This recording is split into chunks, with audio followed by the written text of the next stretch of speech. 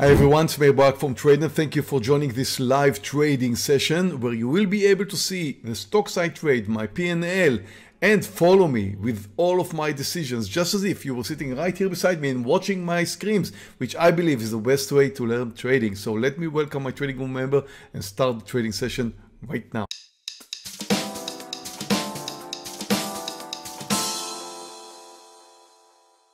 Hi traders, welcome all. Good to see you all here in our live training room and of course our followers in YouTube. Appreciate the fact that you're coming in. Please hit that like button for us. It will help our channel. We will appreciate that. Now let's take a look at the markets here. Huge gap up. I mean, we said the same yesterday, right? Look at this huge gap up. S&P Yep, 500. yep. Crazy, 0.8%, more than yesterday. We just failed. Just look at the failure yesterday. I mean, we had the same, but what a failure. We finished down.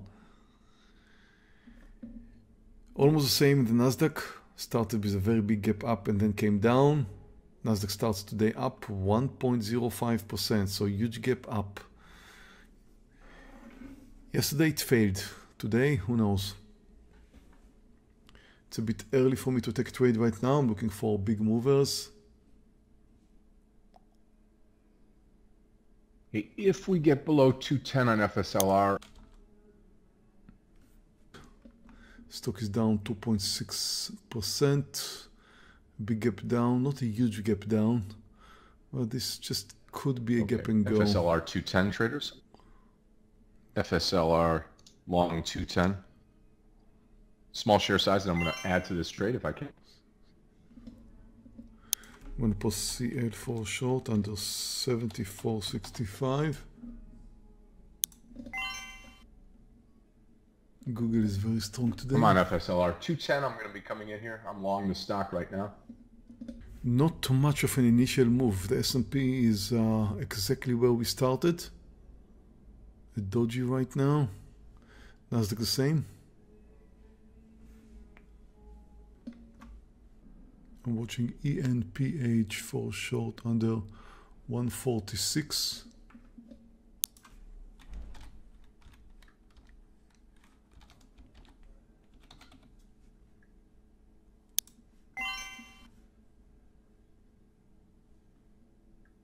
in case it's going to come down.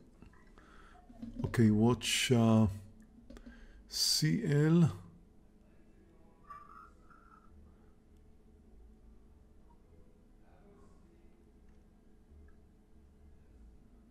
Getting close.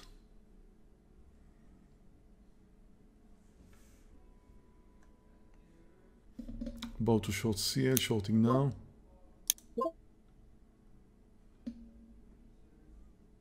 I'm short CL. Hey, traders, on the ENPH trade, uh, if you're short this trade at 148, yeah, Antonio, short this trade. Here, I'm going to add under 147 here, 147 ENPH. I'm waiting for 146 though. Goes to this pre-market. Nice thing about the ENPH, it's down, it's down 11%. Okay, CL, that's a nice move. Nice. Probably should have taken my partial by now. Did not.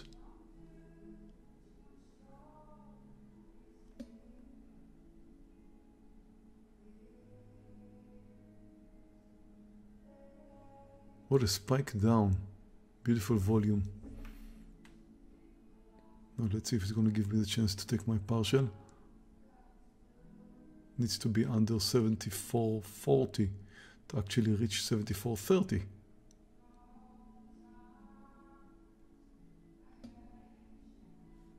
Okay, we do have the first established trend in the S&P and it is down. We just moved under the lows. 150 on E ENPH. I will be out of this trade. I'm wondering if it's going to look like yesterday, Scott. Yeah. Had a great morning yesterday, and then we just gave it all away. Yeah.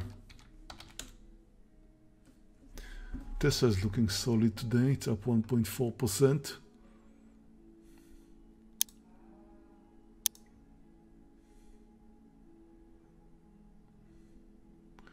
I can't say I like the daily of Tesla. I do not.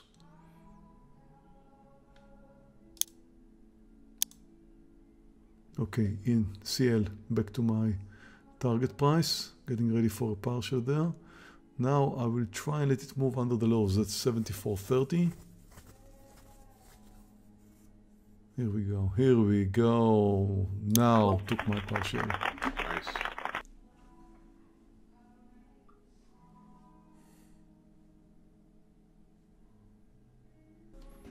I like Tesla over 260.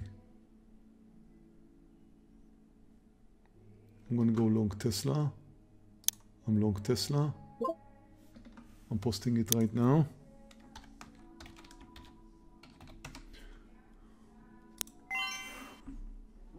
I mean, uh, in the same time, ENPH, I am out of this trade with a loss. look what happened to the S&P.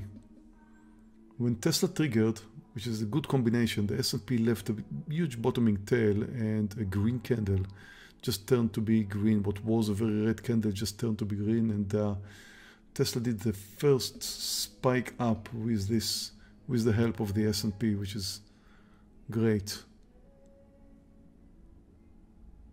We had a quick dollar it, but I'm going to wait for a pullback in Tesla and then come in.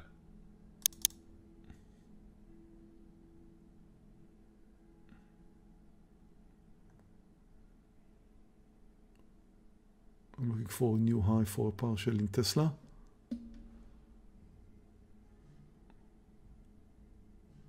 There we go. Oh, come on. Hold on there. Now, getting ready for partial in Tesla. Now, took my partial in Tesla.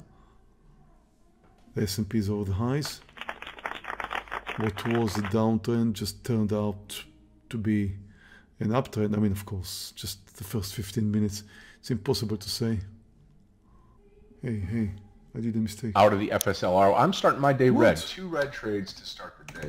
Unbelievable. Selling now, Tesla. I made a mistake. Wow. How can it be? XPEV. I love the daily. Huge upside momentum. I'm gonna buy it over 2207.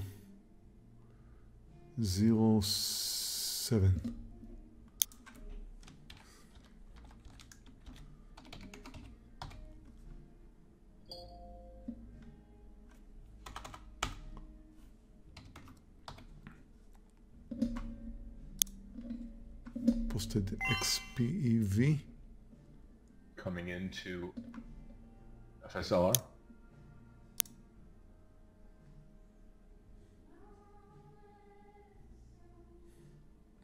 XPEV is kind of going sideways here, but it's up 8%, almost 9%, and it's holding near the highs. There is a very strong resistance here. That's why I want to see it over 2207. But what I really like about it is the huge upside momentum on the daily. Let's take another look here. See the daily of XPEV? It recently spiked up like crazy and small pullback at the highs, which was yesterday, and a continuation today. So this could be a very interesting short squeeze. There should be a lot of short scale sellers who moved in yesterday. So if it's going to move over, it could create an interesting short squeeze. The way it moved down yesterday, probably led in a lot of short sellers, which once they close their shorts, meaning buy, should help it spike up. That is, of course, if it's going to move over the resistance. I don't want to wait over the highs, which is 22.14. I want to buy it before it moves to the highs. And I think most of the resistance should be gone by 22.07. So far, it's just going sideways. Watching here for the entry on FSLR. 200 is going to be my entry. And now here comes ENPH. After I lost money on the trade, now it's going to start to roll back over.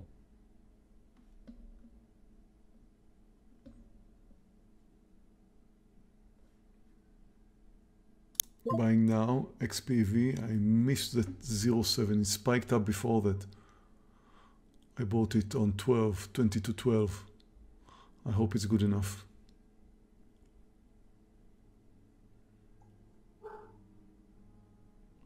And now it's failing? Really?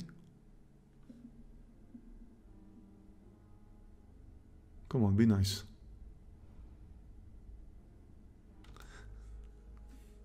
So I'm watching from the sidelines, of course, Scott trading FSLR, and I'm saying to myself, what did he find in this one? why, why, why, why did he marry this one? So true. So true. Tesla, beautiful new high.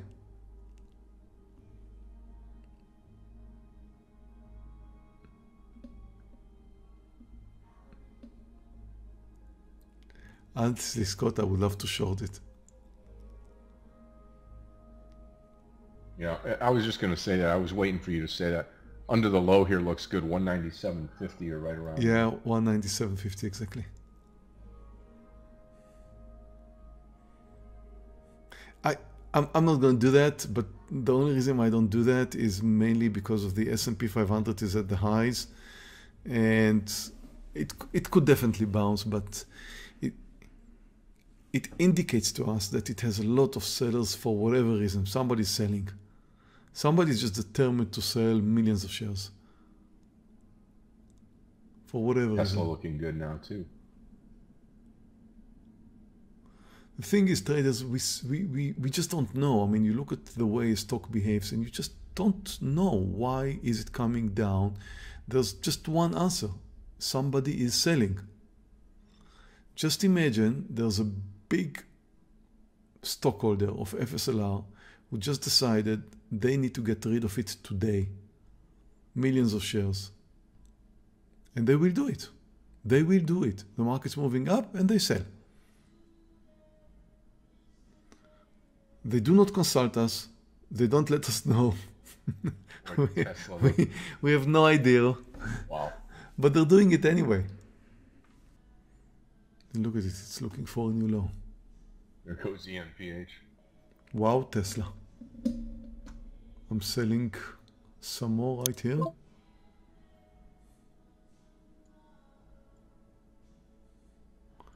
Sold some more Tesla. XPEV is failing. I like Intel here too.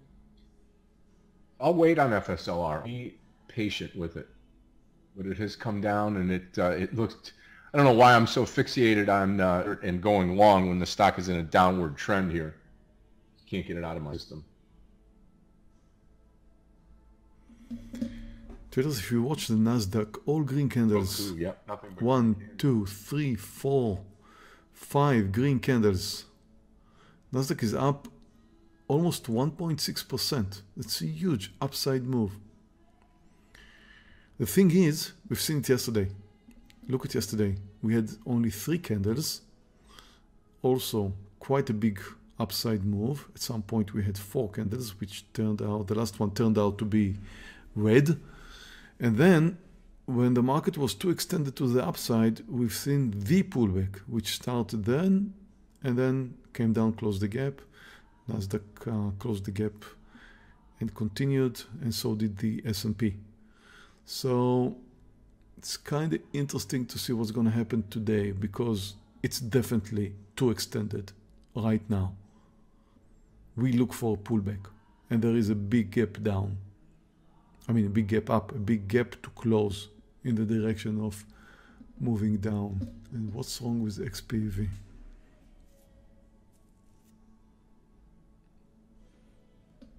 Okay, I'm going to close it under 2160.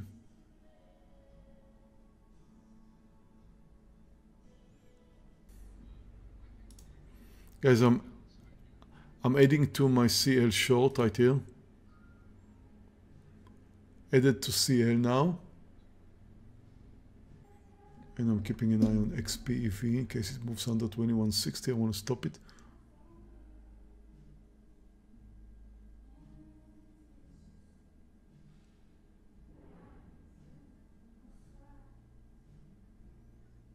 Nvidia is looking quite interesting.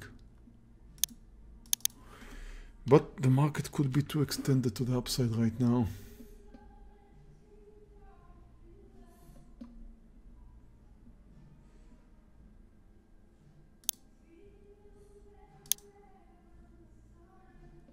Nvidia is a nice daily. It's uptrending beautifully.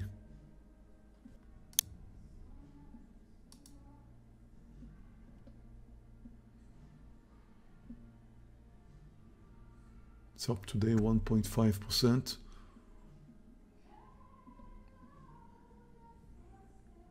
Could go long over 467.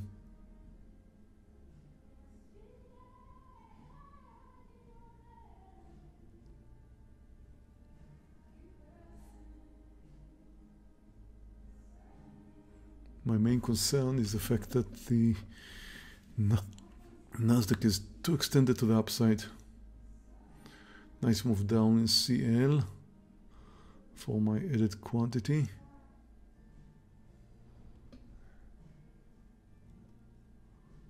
Keep an eye on XPEV.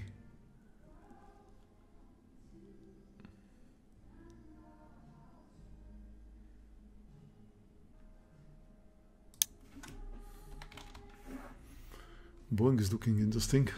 BA.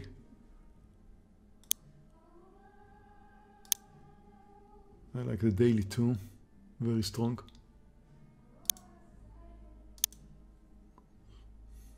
But again, I'm concerned from a market pullback and I'm getting the first red candle right now.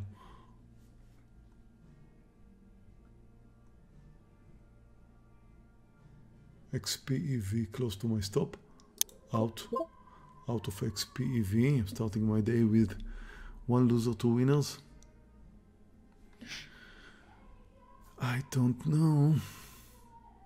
Okay, I will buy Boeing over 237.70. Approximately one dollar stop loss. Now I'm long Boeing.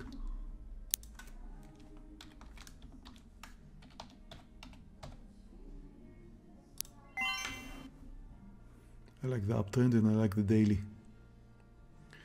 CL is doing good with my added quantity. I'm getting ready for a partial for the relatively small quantity I added earlier. I want to see the sellers under 30, under 74.30. Boeing is challenging the highs. It's looking good. 238.22 is the highs.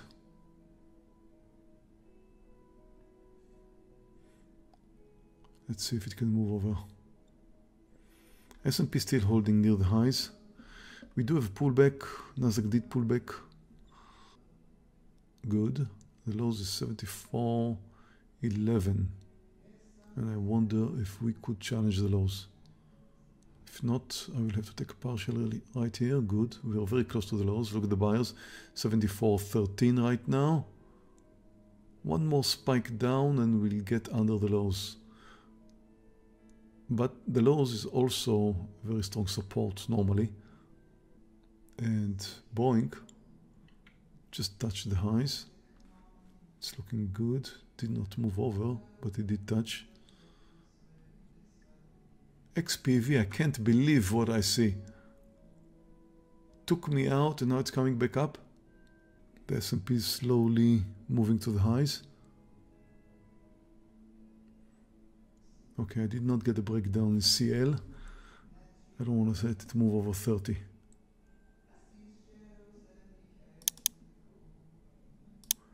Took my partial in CL, not exactly what I wanted.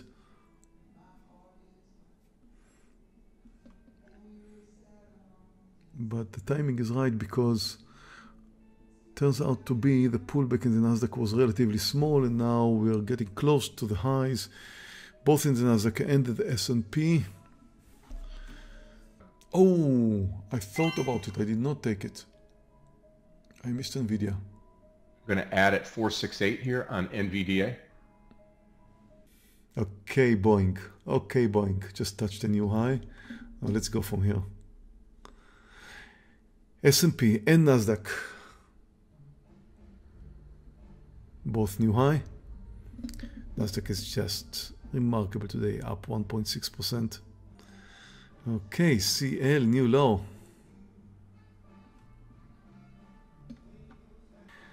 So far, unlike yesterday, the market just keeps going.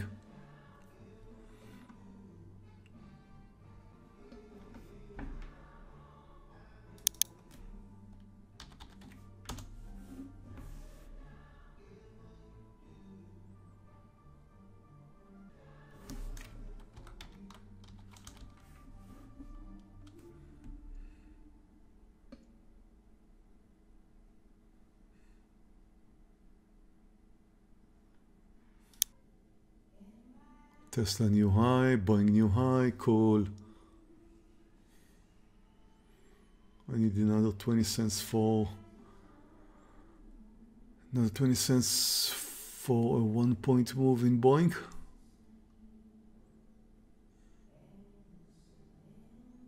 Which I'm hoping to get. Tesla's touching the three point mark. CL under the lows. Very nice. Scott going sailing tomorrow.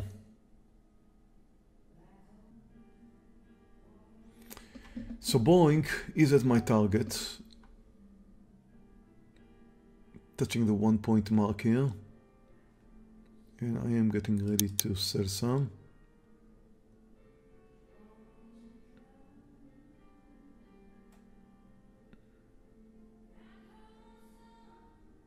Oh, yes, Boeing. Look at that go. Wow. Just spiked up. Getting ready now. Over a point here. Let's see if it can continue over 239. Sellers do not want to sell and they're moving up. Nice. Buyers are chasing. Look at the buyers chasing the sellers.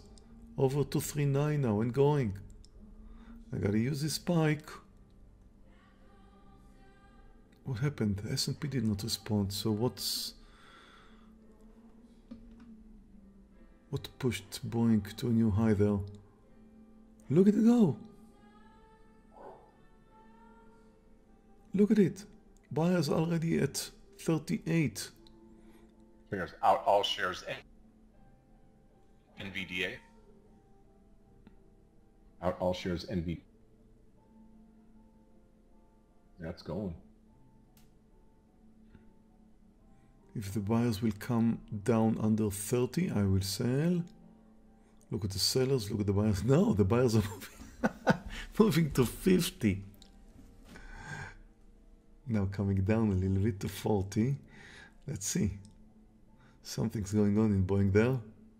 55.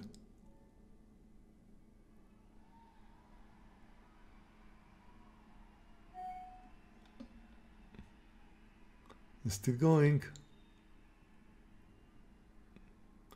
Looking at the buyers, looking at the sellers, looking at the time and sale. I want to see if, see now we've got some red trades here, which means they're selling and I'm selling. Red indication means that uh,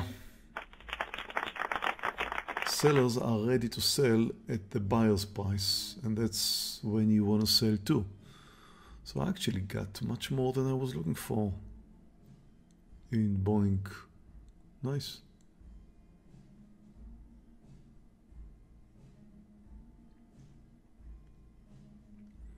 And the S&P is looking for a new high. Nice move on Boeing. Okay, traders, thank you very much for watching this uh, session. Uh, here's my results. As you can see here, I've got uh, three winners and just one loser. End result with close trade just over four grand and you can see that I'm still riding CL 200 shares short up $60 um, Tesla's doing great $278 and just 200 shares left in Boeing up 270 so a little bit closer to five grand. And that's not a bad outcome for what like 45 minutes or so I really did enjoy my session today and I hope you did too and I hope uh, it was educational enough uh, for you to learn how to trade because it's always interesting I believe to you know take a look at the stocks in real time and understand what they're doing and my mindset. Why am I doing what I'm doing? You can notice that I'm looking a lot at the S&P 500 at the direction of the S&P at the direction of the Nasdaq. What's more important is the direction of the S&P it's definitely the one that pushes the market because institutional traders are following the S&P 500. So as long as I'm following the market, I should be fine. On the other hand, I was shorting CL and I did fine, but that's because CL is down more than 3% and this should have been and was a gap and go, which means it started with a gap down and then go means it continued under the lows.